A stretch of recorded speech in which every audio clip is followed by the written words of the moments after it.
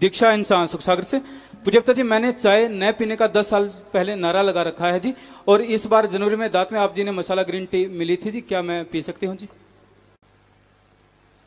हाँ green tea को पीने का तरीका होता है कि आप उसको पानी में ही एक उबाड़ा दिया और उसमें तीन चार मिनट के बाद पी लीजिए तो पी सकते हो।